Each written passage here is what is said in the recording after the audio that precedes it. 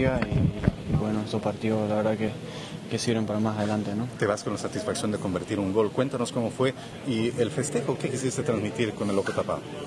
No, no, creo que muy feliz ¿no? por, por el gol, pero creo que eh, esto, esto, es parte de todo el equipo, eh, no era lo que queríamos, eh, nos fuimos con un resultado no favorable, pero bueno, estoy agradecido con Dios por, por el gol y bueno, es un festejo que, que era para alguien especial, que, que, la verdad me trataron un poco mal donde estaba y bueno, era para él.